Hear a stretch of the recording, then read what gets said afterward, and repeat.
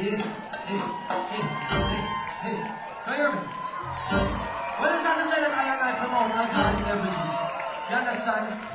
Yeah, the guy and I know really promote junk kind. Now hear me. So you can go out with your brethrens and your sisters and you might add up two drinks and have a few sips. But always remember this, that two is better than two men.